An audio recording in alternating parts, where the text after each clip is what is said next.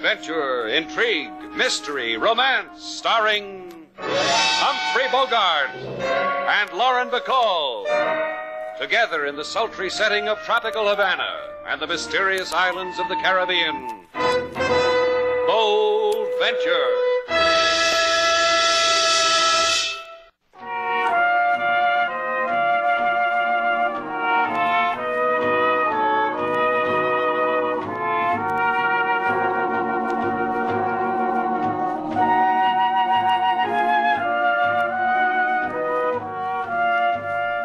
Once again, the magic names of Humphrey Bogart and Lauren Bacall bring you Bold Venture and a tale of mystery and intrigue.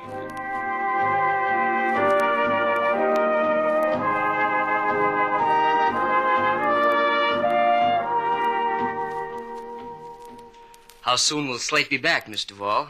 I ask only because I hope it's not for hours and hours. Not so close, Frankie. I might fog your glasses. I'll chance it. Ever kiss a boy with tortoise shells? You're probing, Professor. Now let me think. Yes. Yes, I did once. Exciting? Well, I was five and he was six. He asked me up to his treehouse to admire his collection of steelies and glassies. I'll never forget. I had to hobble home on one roller skate. Why? The kid was a cad. You're cute. Cute as a bug at a rug. Oh, Frankie. Next you'll be telling me I'm the bee's knees. You want it subtle, huh? Okay. I'll tell you in words they write in poems. How the curve of your mouth is classic. How your cheek is. Back up, Buster. I'll uncurl your ringlets. Uh, what's up, sailor? Boy trying to sell you a magazine subscription? Slate. Slate Shannon. You remember me? You heard, sailor. She said it real clear. She said back. Hey. Hey, wait a minute. You're Greg's brother, Greg Jordan's brother. That's right, Frankie. What are you doing in Havana, kid? How's Greg? One at a time, Slate. The big brother's married, four kids, and a mortgage. What I'm doing in Havana is learning what every young fellow should know. I left college to try to learn it. Want to take me around the museums and teach me? Sure, kid. I'll show you a Havana they never dreamed of in the geography books. And, uh, we'll take Miss Duval, too, huh? Please. That way it'll be coeducational.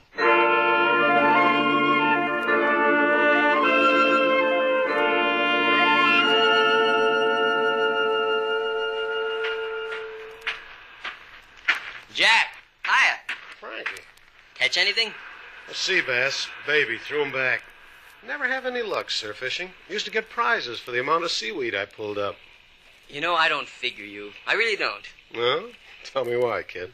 A big time gambler like you. A man the police are looking for, and you pick yourself a seaside park and fish. You ought to try it. Restful. For the nerves. You study about nerves at college? Uh uh Economics. Hmm, that sounds educational. Brief me on economics, kid. Uh, get money from people. That's a brief on every textbook I ever had. Good books. Sound. You got the makings, kid. I like the way you operated on the boat. I'll tell you the truth. I never saw a better second card stud dealer in my life. Where'd you learn? My brother. He did it for the oohs and ahs in the parlor. Hmm, that's one way. Did you see your brother's friend Shannon? Sure, tonight we're going to have a party. Laughs and tickles and rumbas. Wait a minute. Uh, no, I thought I had a bite. What I was going to say, kid, don't have too good a time. Shannon's got to get us out of Havana. He will. Because if we ever step foot on that liner again, we'll take the rest of the cruise and whatever they use for a brig. I said Shannon will get us out. Sure you did. Only I've got something else to tell you. Remember the guy on the boat who always wore double-breasted tweeds? The man who dropped maybe $200 in draw poker in stateroom 20? I don't remember his name, but he played a fair hand at draw, lost his dough, and then hung around and watched. That him? Mm-hmm. He's a detective, kid. He's tailing me. I shook him someplace on Malecon Drive. How do you know he's a detective? Because I had to hit him before I shook him. He showed me a card, told me the vacationers were squawking about a couple of Sharpies. You and me. Told me how much we cheated them out of. Said, please come along. So now you know why it's important. I told you. Shannon's a sucker. He'll get us out of Havana.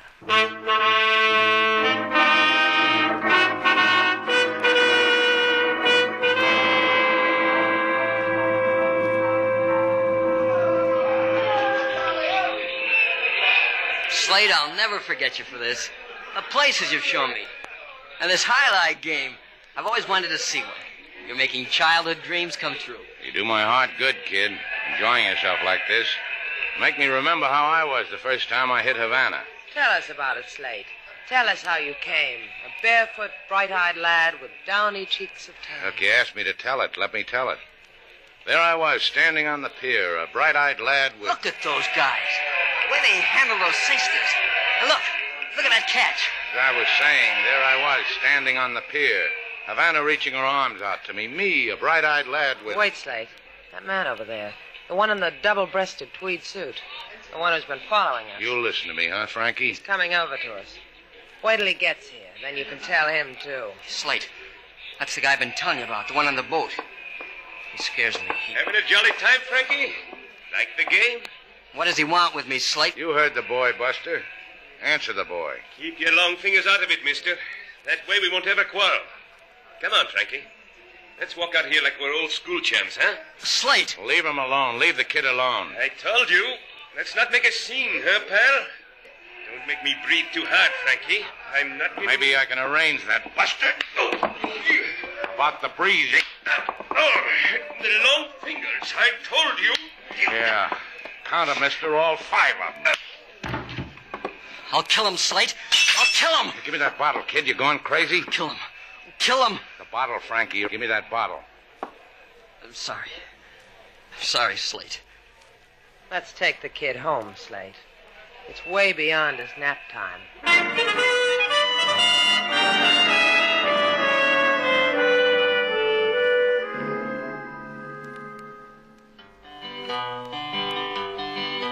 A boy he study in university, plenty IQs and educated he. He wink an eye in Miss Sailor's direction, say, Hip hooray, you're a yummy confection. Miss Sailor, she put Frankie in place. She kick his ankle, sneer in his face. And all the while Mr. Slate has jollies. Blame it on wild oat type follies. That's the way me and my guitar observe it, Mr. Slate. well, both of you got good eyes. I still don't understand what you've got against Frank Sailor. Did you see the way he broke that bottle? He was going to stab that man. Oh, I doubt it. Kid saw the routine in the movies once. He figures it's the thing to do in Havana. Look, you can't blame him for nuzzling up to you. Let's face it, you're a nuzzable girl. Choosy, too. I select my own nuzzlers. Mr. Slate, may I say a word? Go ahead, King. I have seen many men as I walk through the world. Oh, here we go. Men of high breeding and low. The looks they gave could wither the soul. Men who drew shadows about their shoulders. What don't you like about Frank Jordan? He's a stinker. A big one. Now, look, he's, he's the brother of a friend of mine. That makes him a responsibility. I'm going to take care of Frank Jordan while he's in Havana. What's he in Havana for? Well, what are you in Havana for? Go stick your head in a hose. Slate Shannon speaking. Slate. Slate, come down here right away. Please. Please, you've got to. What's the matter, Frank? Hurry, there's not a lot of time. Why isn't there a lot of time? What's happening? I'm afraid, Slate. Please, at the Hotel Suarez on the Prado. Hurry. Hello? Hello, Frank? Hey, hello. What were you saying, Sailor? Miss Sailor went out, Mr. Slate, with the huff. Well, if she and the Huff come back and ask for me, tell them don't ask.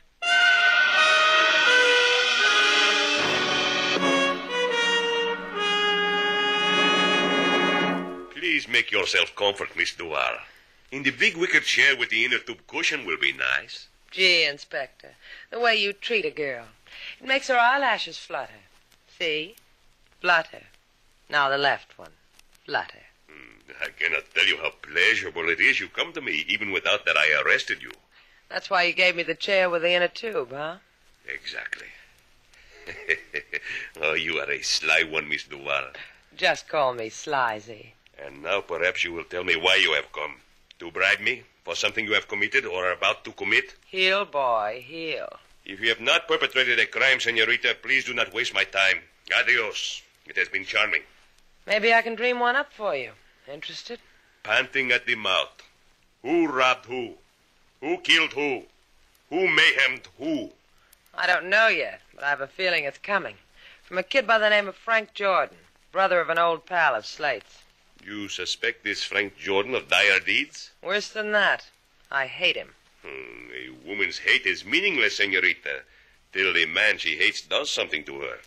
I see no bruises on you. He got into Havana last night, off the SS Regina. Slate had to work a man over for him. I want you to find out why. I'll flutter again for you, any time you ask. You have twisted my elbow, senorita.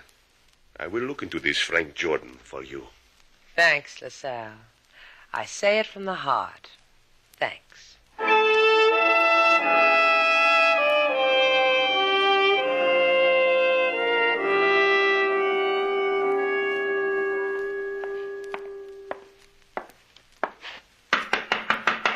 Frank. Is that you, Slate? Yeah, it's me. Talk some more. I gotta be sure. Come on, come on, open up. What's the matter with you? Inside, Slate, quick. Am I glad to see you? Tell me why, huh? I'm gonna level with you, Slate. I thought I was being smart. Now I'm in trouble. Listen to me. You gotta get me out of Havana. The liner you came to Havana on's leaving tonight. Why not take that? I can't, don't you see? The trouble happened on the boat. A woman? I I didn't know anything about her. You know, the travel folder said meet new friends, and I met her. Husband? He'll kill me. He said he would. Close your mouth, kid. I'll answer the door. You want something? Inside, mister. This gun can start scratching your grave. Oh, hello, Frank. Look, look, I was just playing around. I, I didn't know it. Against the wall, Frank. Face it. Now you, mister. I don't know who you are or what you want. But why don't we just sit down, prop our legs up, you know, talk? What's with the gun? Against the wall. Turn around, both of you. The guy your guest, Frankie? Leave him out of this. All right. You can go now, mister. When things get tough, we can do this to packed houses, Frankie. A boy never stops learning, Jack. And you know what? What? I was starting to worry. I was thinking Shannon wasn't believing me. Now he does. He'll take good care of me. I'll be real grateful.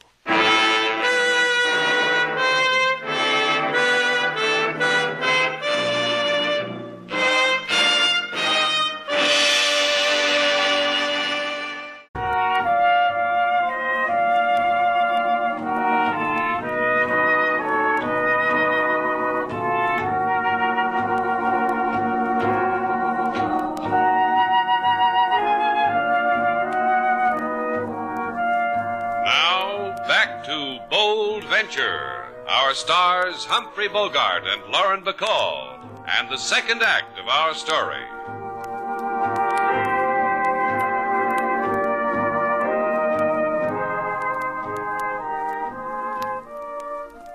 I tell you, senor, you must get up this instant. Get up from the floor and take out of here, you. Uh, Come, senor, I will show you what I do in such instances. Do you understand what I am telling you? Up! hey, cut it out, will you? Very good. You have responded well. Uh, who, uh, what happened? Who are you? Jimenez, who else would I be? Okay, okay. Hey, where's Frank Jordan? He who rented this room? Out. There was another man here with him. Grande, ooh, big, a big man. They left together. Together, huh? Probably with their arms around each other. Oh, it's not so. The big man pushed Senor Jordan in front of him with hand in pocket as if he had a gun. Now, senor, who are you? Just a bad dream, Jimenez. Something that never should have happened. Oh, si, senor. And you look it.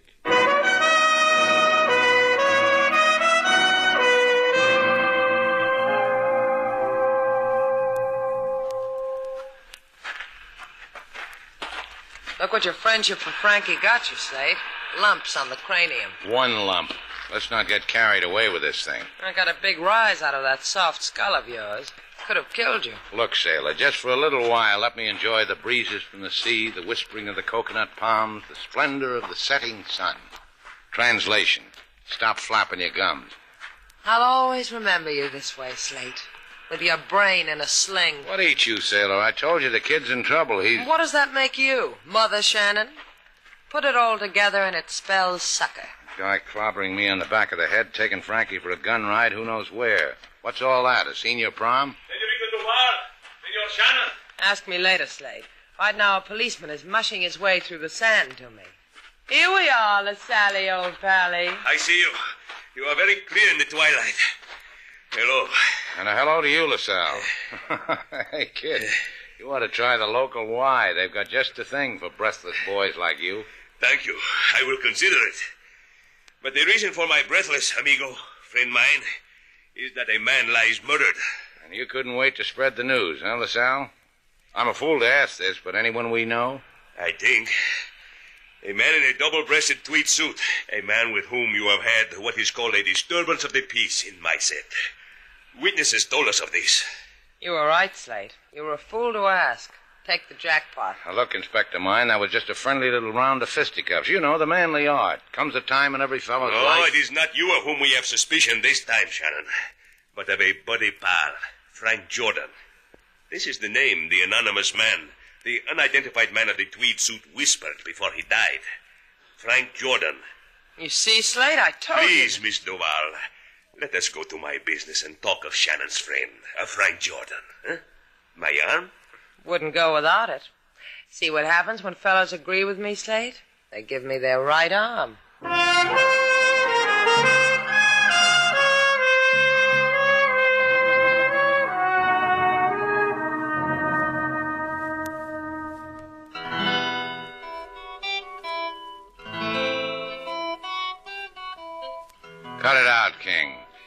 Is it all of a sudden my music does not agree with you, Mr. Slate? I'm trying to think.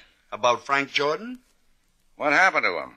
Why did a gunsel beat me around the head and not Frank? Where did he take Frank? And why did he take him? A man who beats a man about the head with a gun may also reverse the gun, Mr. Shannon. It takes less energy to pull a trigger. Perhaps this is what was done to. No, it wasn't. Hiya, Frank. I got away from him. He was going to kill me, but I tricked him. You did, huh? How? While he wasn't looking, I hit him. I hit him hard. Knocked him out. You know what I think, kid? I think you don't have the strength to hit a man and tilt his head. I hit him with an andiron. Now you come back to me because you want to get out of Havana. That's why I brought my bag. Don't tell me you're going to change your mind. Look, I I can't get on that liner. Tonight, when it's dark, I'll run you over to Key West. Come on, Frank. Let's hide you away from all that trouble.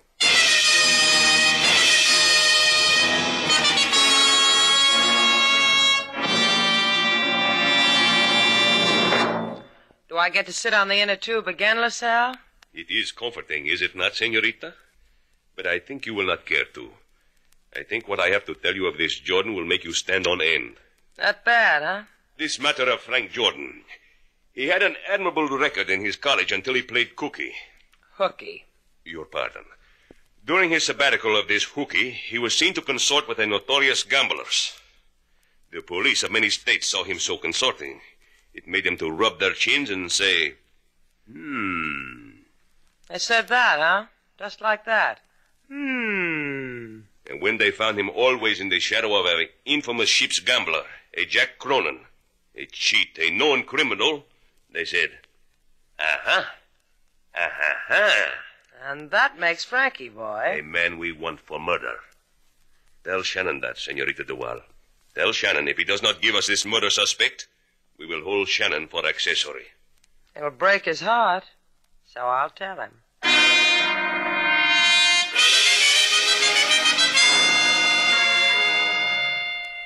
That's what the man said, Slate. The man told me Frank was wanted for murder.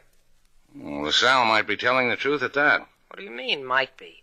He's police inspector of Havana. Why should he lie? yeah, that's a good question. Don't you get it, Slate? He's playing you for a patsy. Something happened on that cruise liner so that Frank can't go back to it.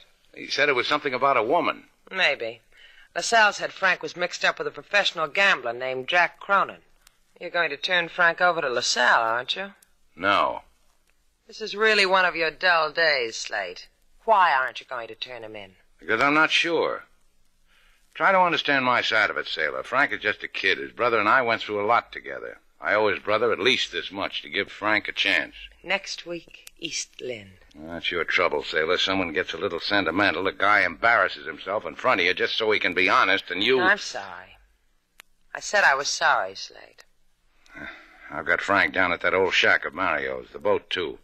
If anybody drops in and asks for me, tell them I'll be there. And I'm just supposed to sit around like an information desk, huh? And if anybody asks, I'm leaving for Key West in just one hour.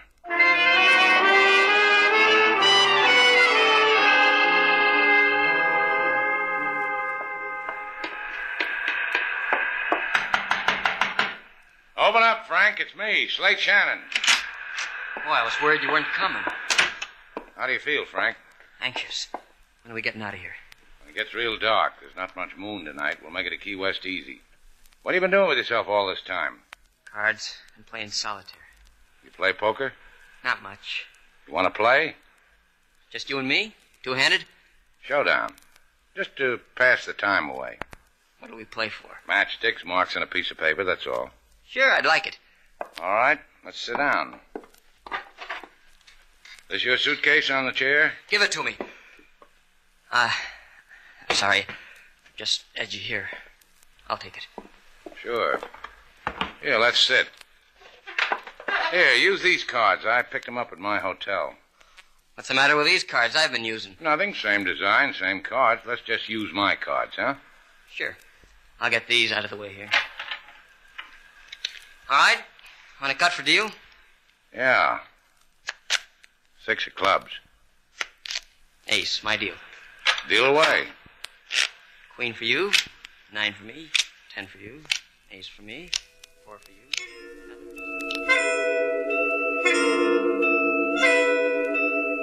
Six for you.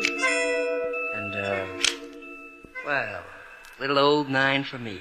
Filled it inside straight. Well, that about does it, Frank. I'm clean out of matchsticks. I'll lend you some. no, I've had enough. You're a lucky boy for a kid who doesn't know much about. Come on in, people. Hiya, Frank.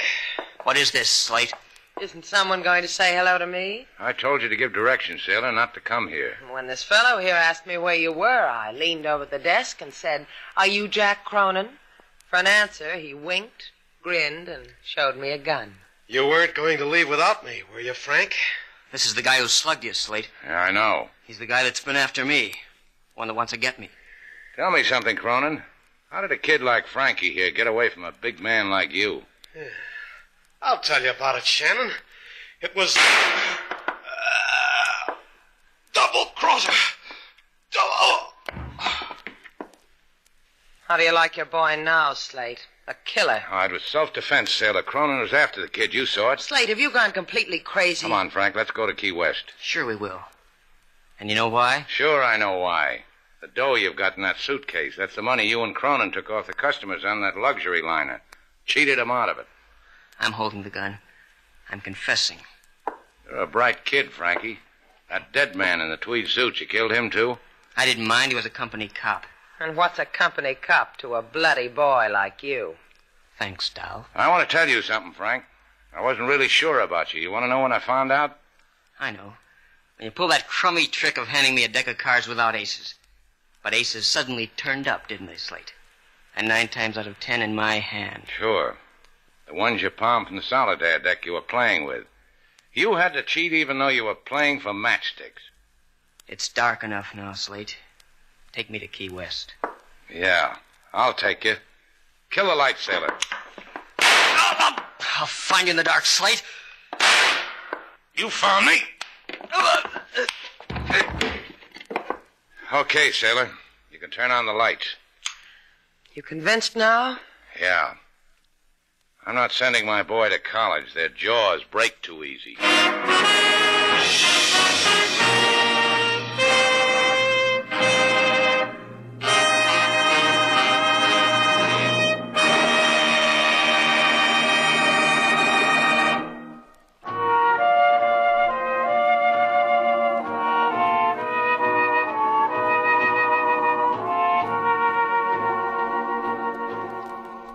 Hey, sailor. What do you want? Here, take a card. Oh, no. You going to show me that corny card trick again? Now, go ahead, take one, any one at all. All right. Four of clubs. No, no, don't tell me what it is. Just look at it and remember it. Take another one. That's right. Now put it back in the deck. That's right. Now, I'll shuffle them. Now watch this. I can hardly wait. Now, this will astound you. Slate, Huh? I forgot what my card was. Ah, what is it with you? A guy learns a few card tricks, he likes to show 'em off. I know a trick. See? Nothing up my sleeves, no strings, no rubber bands, hands behind my back. So? So close your eyes. Astound you? That's a trick? Last girl who did that held her hands behind my back. Come here. That's the way the trick goes.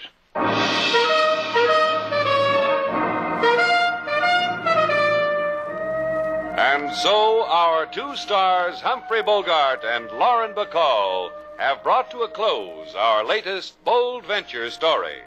Special music was composed and conducted by David Rose. May we invite you to listen again next week at this time for another exciting adventure starring Humphrey Bogart and Lauren Bacall together in Bold Venture.